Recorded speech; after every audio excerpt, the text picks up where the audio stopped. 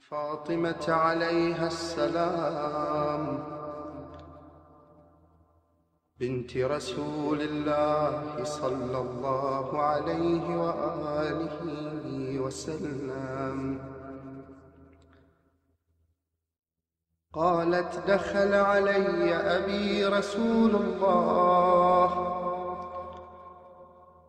صلى الله عليه وآله في بعض الأيام فقال السلام عليك يا فاطمة.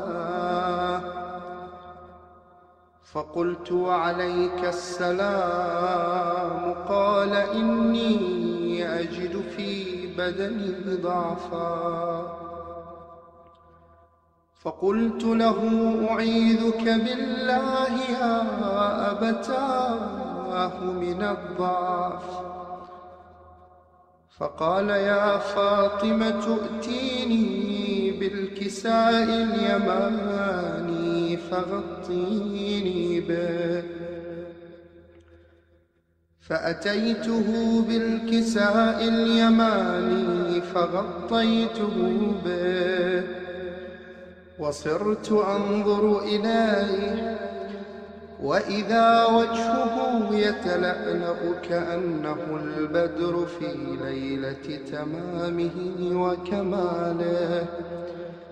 فما كانت إلا ساعة وإذا بولدي الحسن قد أقبل وقال السلام عليك يا أمّا فقلت وعليك السلام يا قرة عيني وثمرة فؤادي. فقال يا أماه إني أشم عندك رائحة طيبة. كأنها رائحة جدي رسول الله صلى الله عليه وآله فقلت نعم إن جدك تحت الكساء. فأقبل الحسن نحو الكساء وقال السلام عليك يا جداه يا رسول الله. أتأذن لي أن أدخل معك تحت الكساء؟ فقال وعليك السلام يا ولدي ويا صاحب حوضي قد أذنت لك فدخل معه تحت الكساء فما كانت إلا ساعة وإذا بولدي الحسين أقبل وقال السلام عليك يا أمّا فقلت وعليك السلام يا قرة عيني وثمرة فؤادي. فقال يا أماه إني أشم عندك رائحة طيبة. كأنها رائحة جدي رسول الله صلى الله عليه وآله. فقلت نعم إن جدك وأخاك تحت الكساء. فدنا الحسين نحو الكساء وقال السلام عليك يا جدا يا من اختاره الله. أتأذن لي أن أكون معكما تحت الكساء؟ فقال وعليك السلام يا ولدي. ويا شافع أمتي. قد أذنت لك فدخل معهما تحت الكساء. فأقبل عند ذلك أبو الحسن علي بن أبي طالب عليه السلام وقال السلام عليك يا بنت رسول الله. فقلت وعليك السلام يا أبا الحسن ويا أمير المؤمنين. فقال يا فاطمة إني أشم عندك رائحة طيبة.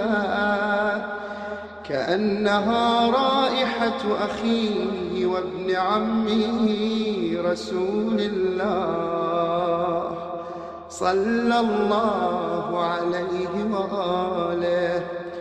فقلت نعم ها هو مع ولديك تحت الكساء. فأقبل علي نحو الكساء وقال السلام عليك يا رسول الله. أتأذن لي أن أكون معكم تحت الكساء؟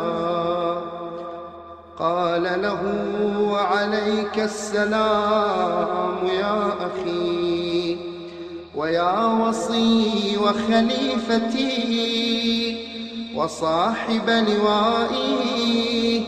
قد أذنت لك فدخل علي تحت الكساء. ثم أتيت نحو الكساء وقلت السلام عليك يا أبتاه يا رسول الله. أتأذن لي أن أكون معكم تحت الكساء. قال وعليك السلام يا ابنتي ويا بضعتي. قد أذنت لك فدخلت تحت الكساء. فلما اكتملن جميعا تحت الكساء.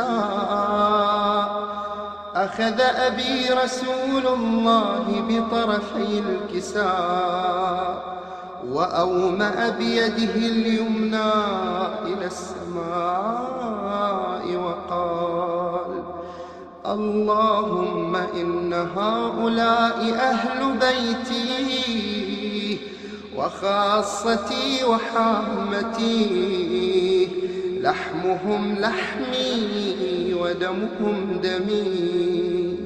يؤلمني ما يؤلمهم ويحزنني ما يحزنهم. أنا حرب لمن حاربهم وسلم لمن سالمهم. وعدو لمن عاداهم ومحب لمن أحبهم. إنهم مني وأنا منهم. فاجعل صلواتك وبركاتك ورحمتك وغفرانك ورضوانك علي وعليهم وأذهب عنهم الرجس وطهرهم تطهيرا. فقال الله عز وجل يا ملائكتي ويا سكان سماواتي إني ما خلقت سماء مبنيا ولا أرضا ولا قمرا منيرا ولا شمسا مضيئا ولا فلكا يدور ولا بحرا يجري ولا فلكا يسري إلا في محبة هؤلاء الخمسة الذين هم تحت الكساء. فقال الأمين جبرائيل يا رب ومن تحت الكساء؟ فقال عز وجل هم أهل بيت النبوة ومعدن الرسالة هم فاطمة وأبوها وبعلها وبنوها فقال جبرائيل يا رب أتأذن لي أن أهبط إلى الأرض لأكون معهم سادسا؟ فقال الله نعم قد أذنت لك. فهبط الأمين جبرائيل. وقال السلام عليك يا رسول الله. العلي الأعلى يقرئك السلام ويخصك بالتحية والإكرام ويقول لك وعزتي وجلالي ما خلقت سماء مبنيا ولا أرضا مدحيا ولا قمرا منيرا ولا شمسا مضيئا ولا فلكا يدور ولا بحرا يجري ولا فلكا تسري إلا لأجلكم. ومحبتكم. وقد أذن لي أن أدخل معكم. فهل تأذن لي يا رسول الله؟ فقال رسول الله صلى الله عليه وآله. وعليك السلام يا أمين الله إنه نعم. قد أذنت لك فدخل جبرائيل معنا تحت الكساء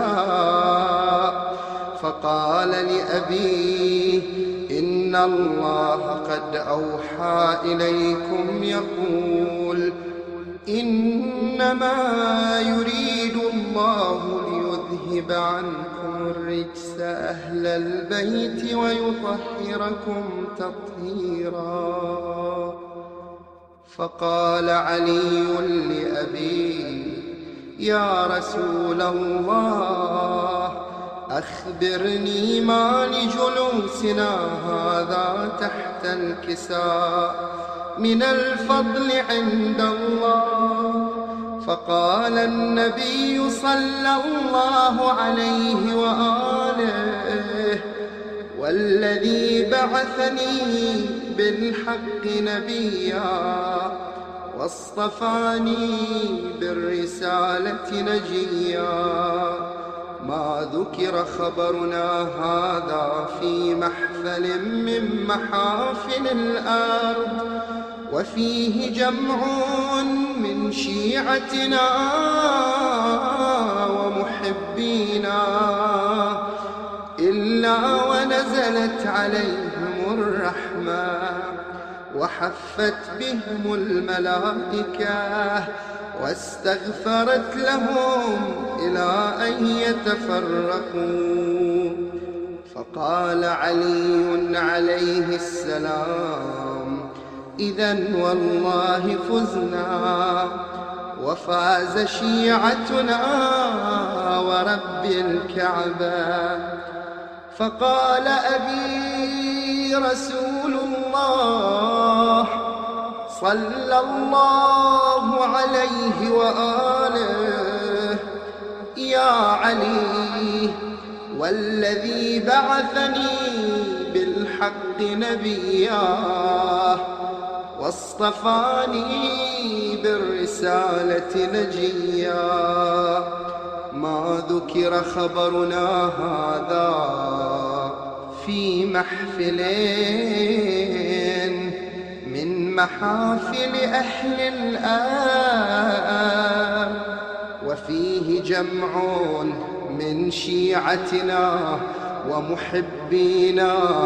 وفيهم مهموم إلا وفرج الله همه ولا مغموم إلا وكشف الله غمه ولا طالب حاجة إلا وقضى الله حاجته فقال علي عليه السلام إذا والله فزنا وسعدنا وكذلك شيعتنا فازوا وسعدوا في الدنيا والآخرة ورب الكعبة